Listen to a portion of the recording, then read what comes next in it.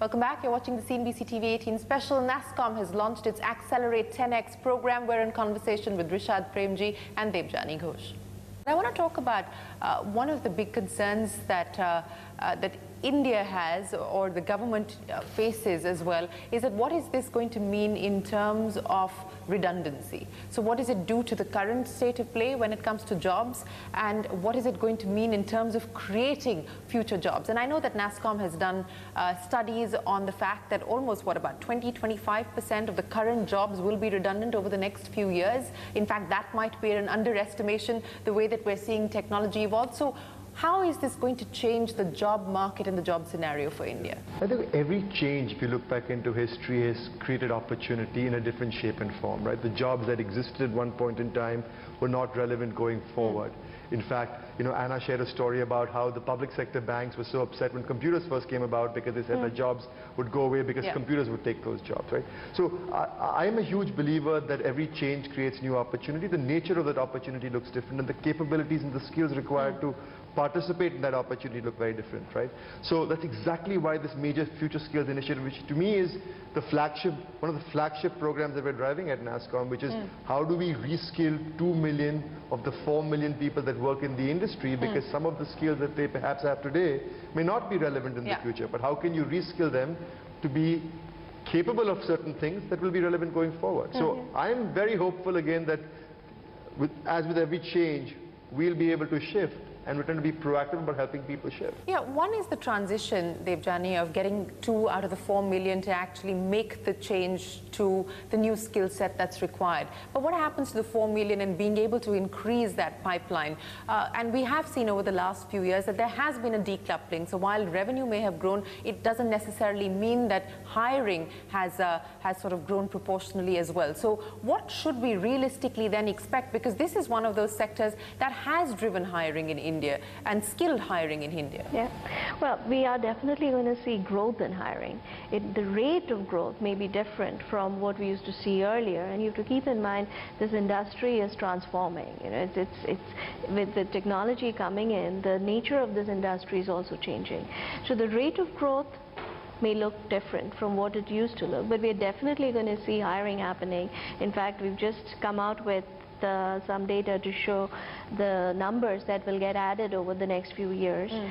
Uh, but the kind of jobs and the kind of skills that will be needed will be very different and we'll keep reinforcing that point because it's, it's going to be crucial. It's going to be important for the success of this industry. Mm. Uh, the skills needed for success and for these new jobs that are getting created is going to be very different from what the skills that this industry uses today. And we have to ensure that that skill pipeline is ready. Hmm. I, I really think that's the biggest challenge ahead of us. The, the other thing, Shereen, I would add is the startups, hmm. I think will be the next wave of job creators as well, right? We hmm. always talk about the IT services and sure. that's the, yeah. the, tonality of the question. Yeah. Yeah. But the reality is that if you ask me over the next 10 to 15 years in terms of brand building, in terms of wealth creation, in terms of job creation, I think the startups will do for India what the IT services companies have done over the last 15 to 20 years. And mm. efforts like the ones we're talking about with Accelerate 10X, with the broader 10,000 startup initiative, mm. I think are key players in driving that agenda, which is both company building and as well as nation building. When scale happens, right. it'll automatically result yeah, in more yeah. jobs. You know, how uh, important is global collaboration going to be and is that going to be something that this program will focus on? Because as we look at products that address global markets, uh, A, market access is an issue, but B, uh, you know, you don't really have that much uh, lead time, so to speak. So how important is it going to be to have those global collaborations Absolutely. Uh, on I the think table? you should think, Shereen, in terms of the ecosystem on a global basis. Mm. So we should not think of the ecosystem restricted to India. Absolutely partnerships with global accelerators, global money, global capability building. Mm. All of that I think is going to be Even very academia. important. Sorry? Even academia. Absolutely. So what are they telling you when you talk to global uh, tech firms today uh, and pitch the idea of uh, Accelerate 10X? What is the ask on their part? And especially, do you find that there, there continues to be a concern on the innovation front? Because if you look at, you know, specifically from a US perspective, uh, there's always been a question mark on India's innovation quotient, or at least as far as our uh, IP uh, laws are concerned. Perhaps not legitimate at all. Uh, but is that something that continues to be a cause for concern? So frankly, when we pitched the when we pitched the 10x Accelerate initiative to companies like Google, Microsoft, Facebook, there were no concerns. They They tremendously yeah. excited by the idea that this is about a focused initiative, focus on 100 of the best deep tech startups and take them to the next stage, right? So they were tremendously excited and today when we launched the program, we actually launched it with a number of partners hmm. who had already signed up.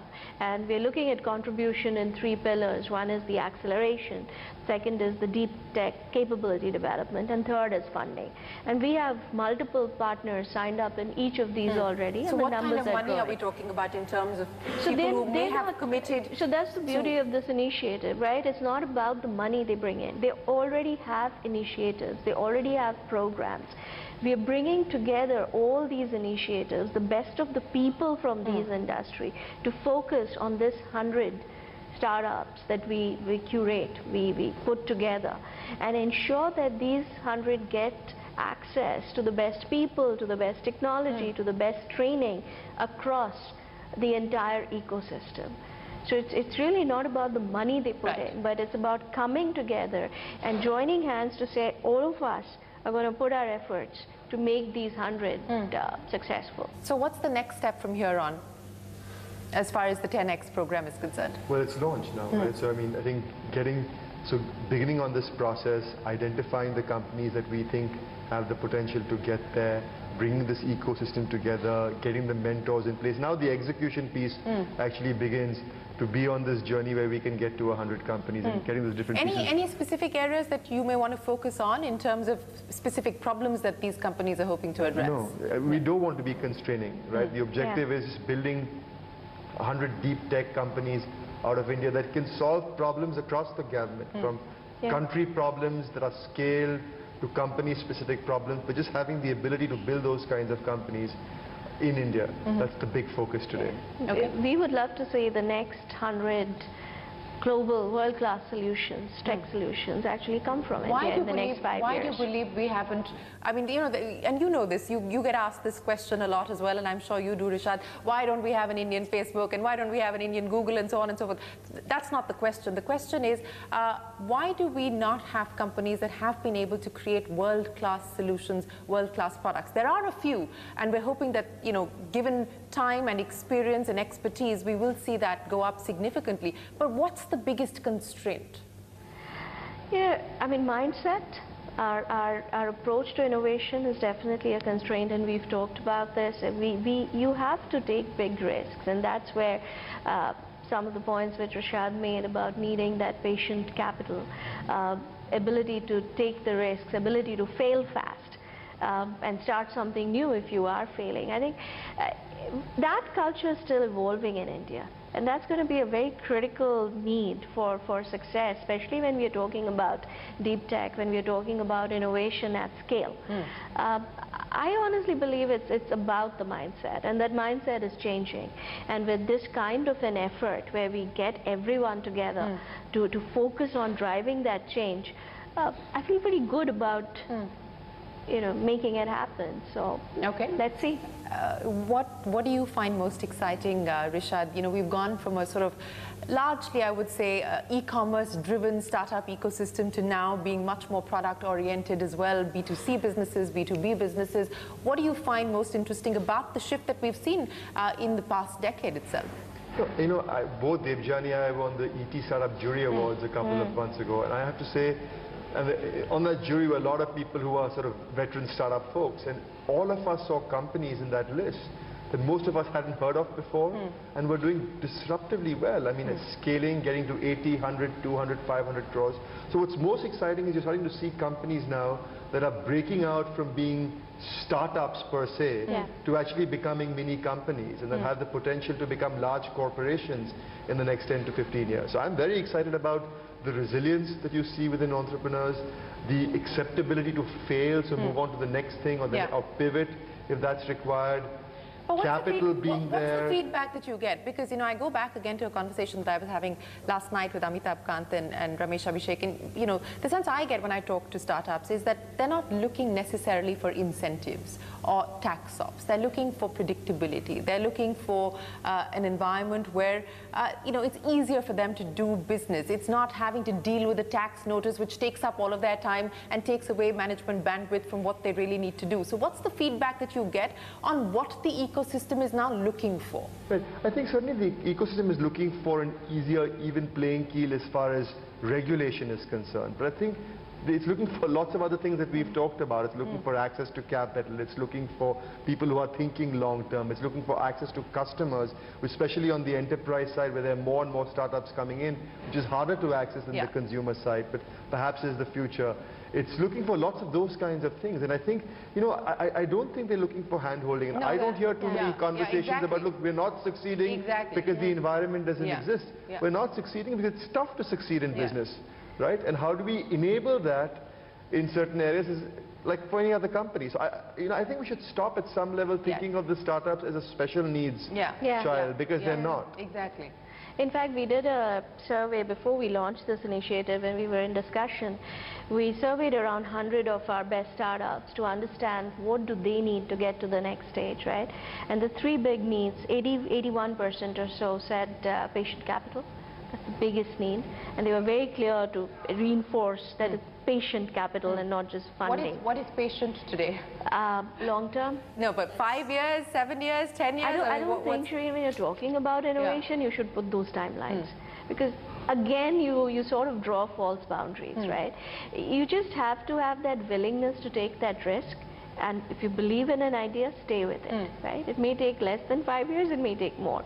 But that, so that was the number one ask. The second ask was market access, uh, both in India and global. And the third ask was uh, deep skill, uh, deep tech capabilities development, right? Access to technology, training, mentorship. So those are the three big Yeah. asks we are we're hearing again and again. Well, I, as I said, I completely agree with you. So let me end then by asking you, so 2023, what is it that you hope to achieve by way of this program? No, I think if we can create 100 companies that are world class, both in terms of the impact that they have to their customers, the value that they create, I think we'll have done a great job. Debjani? Same. Okay, well, we wish you the very, very best of luck, and we do hope uh, that you can nurture those 100 companies and create many more Indian unicorns who service not just India, but the world. Appreciate you joining us here on the CNBC TV 18 special. Thanks very much Thank you, for your time. With that, it is time for us to wrap up this special from all of us here for now. Goodbye, and many thanks for watching.